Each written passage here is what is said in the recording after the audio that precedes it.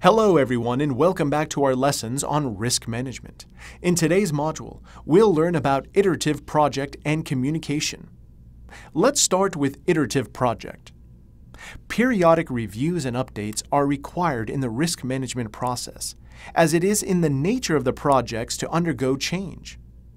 Risks should be identified and analyzed regularly.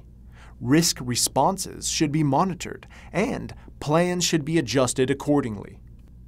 The frequency and detail of reviews and updates depends on the following. The nature of the project.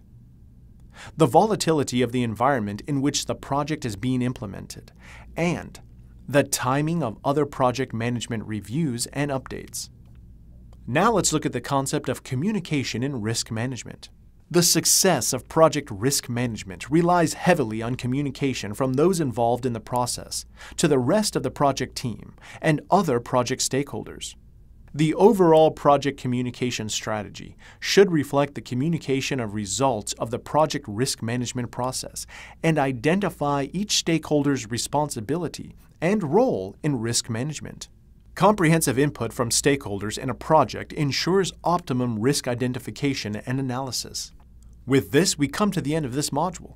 In the next module, we'll learn about responsibility of project risk management. For now, goodbye.